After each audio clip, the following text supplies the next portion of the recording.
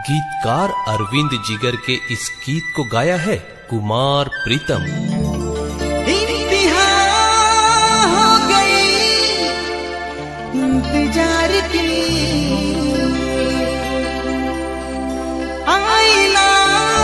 कुछ खबर मेरे प्यार की।